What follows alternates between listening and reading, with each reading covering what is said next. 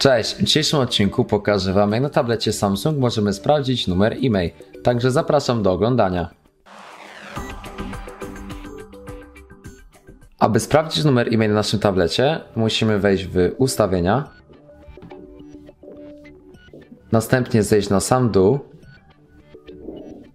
wejść w informacje o tablecie, następnie wejść w drugą opcję od góry, czyli informacje o telefonie, zejść do opcji czwartej, czyli informacje o e-mail, klikamy i jak widzicie mamy tutaj e-mail i e-mail SV. Ja niestety nie mam karty SIM, dlatego nie pokazuje mi się numer e-mail.